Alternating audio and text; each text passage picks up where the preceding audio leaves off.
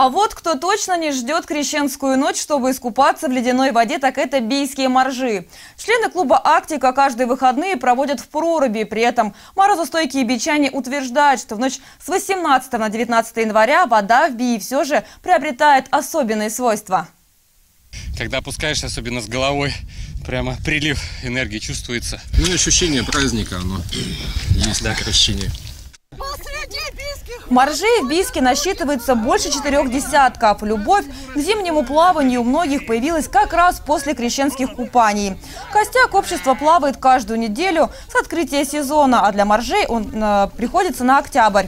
Отметим, что эти пловцы множество раз становились призерами и победителями различных соревнований и эстафет в холодной воде. Люди с закалкой советуют бичанам, которые отважились на погружение, ни в коем случае не употреблять спиртного, а взять с собой тапочки. Потому как в ожидании очереди предстоит стоять несколько минут. Я начала купаться с одного из крещенских купаний около 13 или 14 лет назад. Споры до сих пор идут об этом. Э, погрузилась в первое раз крещение – понравилось. Пришла еще раз в клуб, который был при нашем учреждении. И с тех пор, в общем-то, не могу от этого оторваться. Вот э, все эти мои любимые моржи, они стали семьей. Мы вместе дружим, мы вместе отмечаем праздники, э, дни рождения. Мы э, как бы подзаряжаемся друг от друга позитивной энергией. В первую очередь мы идем сюда за позитивной энергией.